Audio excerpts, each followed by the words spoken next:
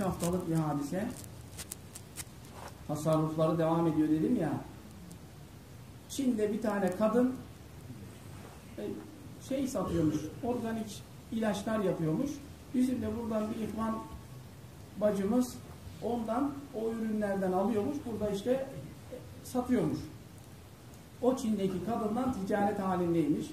Tabii ki hep ticaret alışveriş yaptıkları için e, o ihvanımız işte bizim de burada bir üstadımız var yaşlı onda da kullanıyoruz bu senin ilaçlarını diye ara ara böyle bahsedermiş.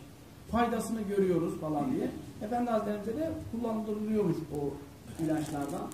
Çin'de o kadın organik şeylerden yapıyormuş. Aktar gibi düşünün. Gel zaman git zaman kadın İstanbul'a geliyor. Turizm amaçlı geliyor. Ve o bizim İhvan ablamız da ticaret halinde olduğu için diyor ki e, ondan görüşüyorlar. Diyor ki ya diyor sen hep bana telefonda bir yaşlıdan bahsediyordun. Onun üzerinde kullanıyoruz. Çok faydalı oluyor. Bana o yaşlıyı bir göster bakalım diyor. Ben görürsem daha iyi anlarım ilaçlar faydası oluyor mu olmuyor mu diye. Ve neticede e şimdi o uzman ablamız da şaşırıyor. Kadın müşrik. Müşrike Çin, Çin, yavur yani bu nasıl olur falan diye Hacı anneye ulaşıyor ve böyle buyuruyor. Hacı anne de Efendi Hazretlerine soruyor. Efendi Hazretleri diyor böyle bir durum var. Senin ilaçlarını da aldığımız içinde bir tane kadın var. Ziyarete gelmiş. Ama müşrik diyor yani. Alalım mı ziyarete? Efendi Hazretleri alın tabii ki buyuruyor. Alın tabii ki buyuruyor ve kadın e, içeri giriyor. Efendi Hazretleri zaten gözleri kapalı. Bir müddet durduktan sonra diyorlar ki hadi diyorlar şey yap ayrılalım mı? Efendi Hazretleri istirahate çekilecek. Biraz daha, biraz daha, biraz daha kadın kalkamıyor. Kadın kalkamıyor ve neticede e, bir müddet sonra kaldırıyorlar ve kadın diyor ki ben çok etkilendim. Yani bu nasıl bir insan? Yani bu dönemde şöyle böyle çok etkilendiğini ifade ediyor ve o düşünce ve duygularla Çin'e onların belli günleri olduğu için Çin'e geri dönüyor turizme. O da onlarla beraber dönüyor ve kadının Çin'e döndükten sonra evinde bir gaz sıkışmasından dolayı bir yangın oluyor. Ve her şey yanıyor. Kadın da içinde yanıyor ama kadına hastaneye zar zor yetişiyorlar. Kadın 6 ay yoğun bakımda kalıyor. Her yeri yanmış bir şekilde.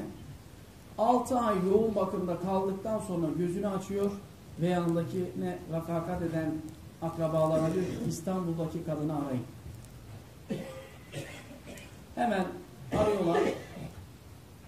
Bizim buradaki ihvanımız diyor ya diyor senden görüşemiyoruz. Ne oldu ne bitti benim başıma. Döndükten sonra böyle bir hadise geldi. 6 aydır yoğun bakımdayım. Bu yoğun bakım esnasında o ziyaret ettiğimiz yaşlı vardı ya hiç gözümün önünden gitmedi. 6 ay boyunca bana Müslüman ol, kurtul, Müslüman ol, kurtul buyurdu. Ben de şimdi inandım, Müslüman oldum. Ben de sizin inandığınız kitaba inanıyorum. Ben de sizin inandığınız peygambere inanıyorum. Ben de sizin gibi inanıyorum diyerekten kadın Müslüman oluyor. Allah dostları öyle bir tasarruf sahibi ki dünyanın öbür ucundaki insan yeter ki hidayet vakti gelsin. Onların hidayetine vesile oluyorlar.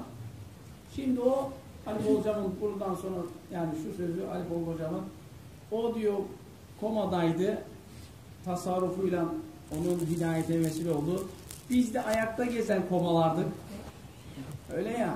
Biz de komadaydık aslında da. Ayakta geziyorduk ama komadaydık. O tasarrufuyla beraber bak bizleri de ne hale çevirdi. Allah'ım yokluğunu göstermesin. Onun yolundan bizleri bir santim bile ayırmasın. Ee, onun Efendi Hazretlerimizi bizden, bizi Efendi Hazretlerimizden hepimizi sevgili Habibinden ayırmaya Rabbel Alemin.